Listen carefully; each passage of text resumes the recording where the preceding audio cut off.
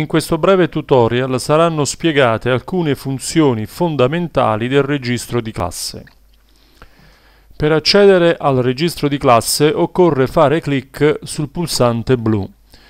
Bisogna ricordare che lasciando il mouse per qualche secondo sull'icona compare la targhetta detta tooltip con l'indicazione della funzione del pulsante. Cliccando sul pulsante blu si attiva il registro di classe, compare la struttura scolastica, si sceglie quindi come al solito la classe e si attende che compaia il tabellone con indicate le materie e i docenti della giornata scolastica. Per prima cosa il docente deve segnare la, ehm, firmare la propria presenza in classe semplicemente selezionando la riga dove è presente la materia e il nome e cliccando sul flag verde inserisci presenza. Soltanto a questo punto il docente può lavorare sul registro di classe. È bene ricordare che il registro di classe non è attivo a casa, il pulsante blu non funziona se non da scuola perché eh, il sistema memorizza gli indirizzi, i numeri eh, che siglano i computer della scuola e riconosce come computer validi per operare col registro di classe solo le macchine che sono presenti a scuola.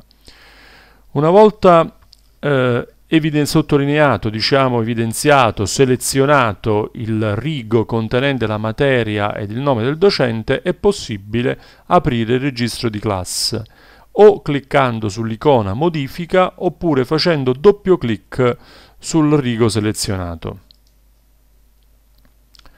A questo punto il docente può inserire l'attività svolta, quindi eh, registrare quello che ha fatto nella mattinata, per esempio controllo dei compiti assegnati, oppure classico assegno Sallustio, cenni biografici e carattere delle opere.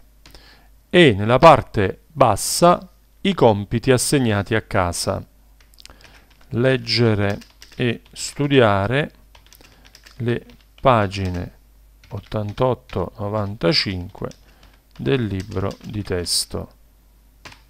Dopodiché il docente può cliccare su conferma per eh, rendere effettiva la registrazione. Accanto alla scheda giornale che consente quindi di segnare l'attività svolta e di segnare sul registro i compiti per casa, esiste la scheda assenze e giustificazioni. Questa scheda va utilizzata per registrare la presenza degli alunni in classe, ovvero l'assenza, e per registrare gli ingressi in ritardo e le uscite anticipate. Sostanzialmente il docente la utilizza per fare l'appello alla prima ora di lezione. Supponiamo il caso dell'alunno Milite Salvatore eh, assente, clicchiamo sul suo nome e andiamo a segnare prelevandolo dall'elenco a discesa, l'assenza del giorno, ben evidenziata dal, e si riconosce subito per il fatto che è scritta in, stampa, in stampatello. Le altre voci da utilizzare sono ingresso alla seconda ora, alla terza ora, ovvero alla quarta ora, e le uscite alla terza, alla quarta, alla quinta. Eh, naturalmente ehm, non vanno invece utilizzate malattia giustificata o malattia non giustificata, permesso altri, o altri elementi perché non sono codici che per, per il momento sono attivati. Nella seconda parte della schermata troverà, eh, si troveranno registrate tutte le assenze che sono state realizzate dall'alunno, ovvero i ritardi e eh, questi richiedono una giustificazione, nel nostro caso soltanto le assenze, quindi quando l'alunno presenta il talloncino con la firma del genitore, il docente potrà semplicemente mettere il flag, spuntare il flag sulle assenze che vengono giustificate. Questo controllo può essere fatto giorno per giorno o anche periodicamente. La parte bassa invece della schermata consente di inserire un'eventuale nota, intendendo per nota appunto una nota disciplinare che può essere resa visibile anche alla famiglia. L'alunno X disturba la lezione.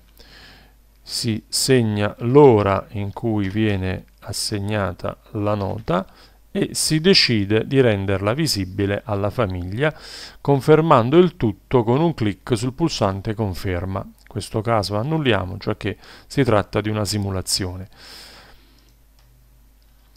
La terza scheda della finestra del registro di classe presenta il giornale nella modalità annotazione e corrisponde alla, allo spazio che anche sul registro cartaceo era presente relativo appunto alle annotazioni che un docente scrive per ufficializzare per esempio un'attività a cui la classe o un determinato alunni, alunno o un gruppo di alunni è chiamato e per renderla quindi nota anche agli altri colleghi della classe. Ad esempio, gli alunni X ed Y parteciperanno il giorno 21 novembre ai campionati